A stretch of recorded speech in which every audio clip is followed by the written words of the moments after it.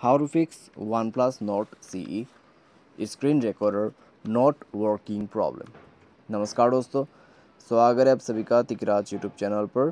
तो दोस्तों, आज के इस वीडियो पर मैं आपको बताऊँगा कैसे आप जो है अपने वन प्लस के डिवाइस में screen recorder not working problem solve कैसे कर सकते हैं।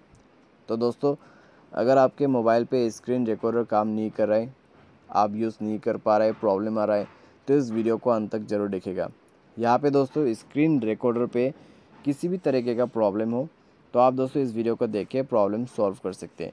मैं आपको दोस्तों यहाँ पर स्क्रीन रिकॉर्डर के सॉल्यूशन के साथ कुछ सेटिंग्स भी बता देता हूँ, जो कि आप यहाँ पे फॉलो कर सकते हैं। ठीक है? तो वीडियो शुरू करते हैं। शुरू करने से पहले अगर आपने चैनल को सब्सक्राइब नहीं किया है तो सब्सक्राइब करके बेल आइकन को क्लिक करें। अगर आप ऑनलाइन पैसा कमाना चाहते हैं तो वीडियो डिस्क्रिप्शन पर आपको लिंक मिल जाएगा। चलिए वीडियो शुरू करते हैं। तो स्क्रीन रिकॉर्डर अगर काम नहीं कर रहा है तो सबसे पहले तो दोस्तों आप अपने स्क्रीन रिकॉर्डर को ओपन करेंगे यहाँ पे। टैप एंड होल्ड कीजिए। उसके बाद आपका वीडियो रिजोल्यूशन सेलेक्ट कीजिए बीट रेट सेलेक्ट कीजिए, नंबर ऑफ़ फ्रेम्स, ठीक है?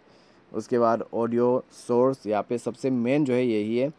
आपको माइक्रोफोन यूज़ करना है तो माइक्रोफोन, इंटरनल ऑडियो तो इंटरनल, ठीक है? उसके बाद वीडियो ओरिएंटेशन एंड यहाँ पे कुछ सेटिंग्स वगैरह है, उसको आप यहाँ पे सेट कर सकते हैं।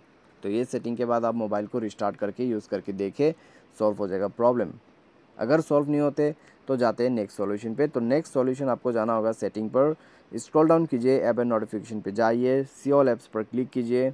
उसके बाद यहाँ पे क्लिक करें थ्री डॉट्स में एंड सो सिस्टम कर दीजिए. उसके बाद यहाँ पे आप डायरेक्टली शॉर्टकट सर्च कीजिए. ठीक है? स्क्रीन रिकॉर्डर करके. तो ये है दोस्तों, आप देख सकते हैं और उसके बाद दोस्तों यहाँ पर आपको इस तरीके का इंटरफेस मिल जाएगा।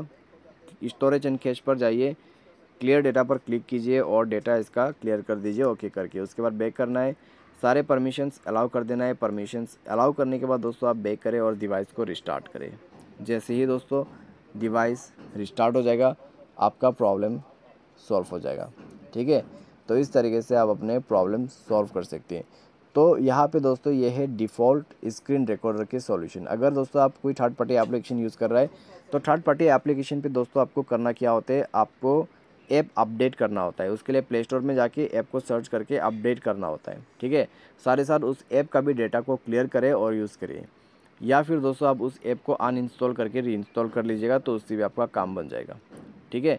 तो अगर थर्ड पार्टी एप्लीकेशन यूज़ करें तो आपको ये सॉल्यूशन करना है। अगर बाय डिफ़ॉल्ट वाले स्क्रीन रिकॉर्डर यूज़ करें तो पहला वाला सॉल्यूशन आपको करना है। तो यह था दोस्तों कुछ solutions screen recorder not working problem का, और इस तरीके से आपका प्रॉब्लम सॉल्व होगा। उम्मीद करते हैं आपको वीडियो पसंद आएगा थैंक्स फॉर वॉचिंग